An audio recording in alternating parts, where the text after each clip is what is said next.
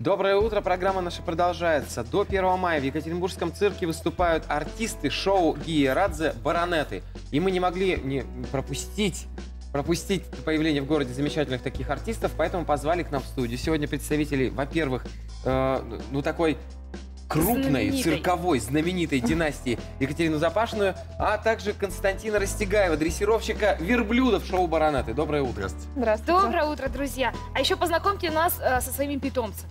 Это Снег, это Тина. Снег, э, он у нас домашний, а Тина нет. Тина живет в цирке. И Снег это наш э, друг, очень близкий, самый, он очень дорогой для нас. Пес, можно сказать, он даже для нас не человек. А это артисты... Ой, не, не собака. Не собака, это человек. Это артисты или это, это Да, прям это артисты, да, трудятся? трудятся. А честно, а им нравится работать? Да, им очень нравится работать. Они, потому что, допустим, вот если снег такой пассивный, лежит все время, то как только начинает звучать музыка, он преображается. Да? Ему очень хочется в манеж к зрителю, они становятся очень активные. Екатерина, мы знаем, да, Снег, если живет у вас дома, он, наверное, первый у вас питомец. Почему именно его вы выбрали, а остальные Потому- живут в цирке? Потому что первый. Да? С него все началось, да. А, он появился в нашей жизни, и э, он был единственный мальчик очень долгое время. И поэтому как бы соединять с девочками его было нельзя, он жил дома, а потом как бы это стало просто его особенностью, что он единственный домашний и неповторимый у нас.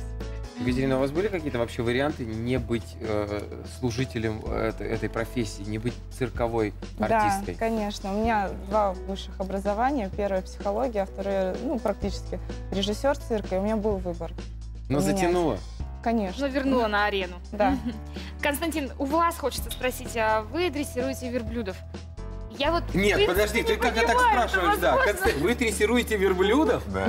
А это вообще, в принципе, э, какая-то распространенная история. И мне казалось, что верблюды вообще не поддаются. Э, По крайней мере, никто не пытается. Не, ну очень тяжело поддаются, но поддаются. Они плюются в зрителей? Зрителя нет. А вас? Нас, да. А кто-то еще в России у нас дрессирует Ну, верблюдов? да, еще там два-три номера есть. Ну и вот расскажите, нам сложно это... про- Они вообще слушаются вас? Ну, на начальном этапе, конечно, они не слушаются. Когда они только при- приходят, да, к нам. Они приходят не как лошади, да, а обученные, уже привыкшие к человеку, приходят дикими. И начальный этап их приучить то, что они не боялись человека. А вы берете их совсем маленькими? Нет, уже взрослые. взрослыми, да? 4-5 лет. Да, непонятно. То есть это довольно вредное, как мне кажется, существо. Смотрит, играет вокруг эта музыка. Они смотрят на этого человека, который от них что-то требует.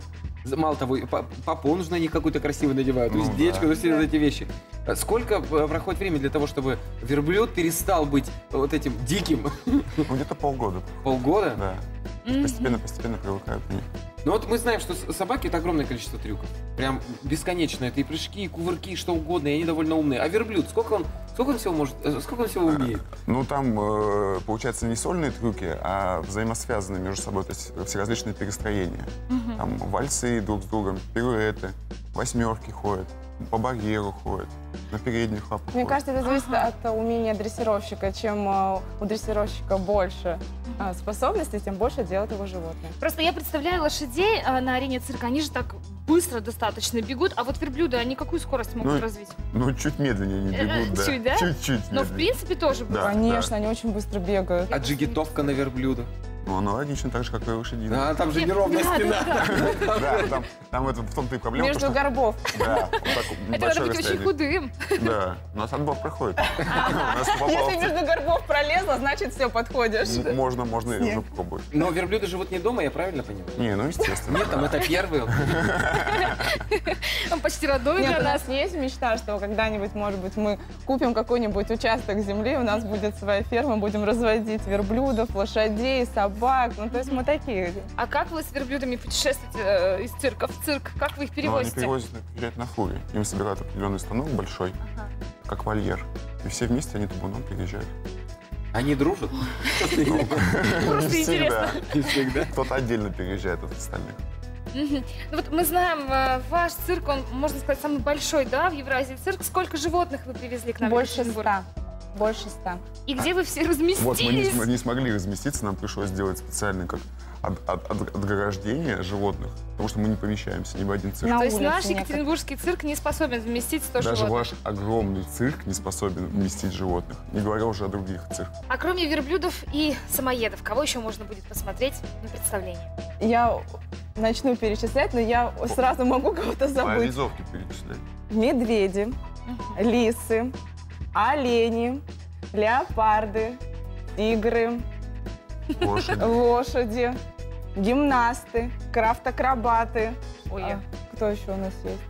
Кто такие крафт-акробаты? Я уже здесь... пе- Крафт-акробаты – это силовые акробаты, которые э, работают пара. У нас э, братья Варданян, и они делают очень сложные трюки. э, безреквизитная работа. Ну что ж, спасибо большое, говорим замечательным артистам цирка. Шоу Ги Радзе Баронеты, который дает свое представление в Екатеринбургском цирке аж до 1 мая. У нас в гостях были Екатерина Запашная и Константин Растегаев. Прямо сейчас передаем слово информационной службе телеканала ОТВ. События далее.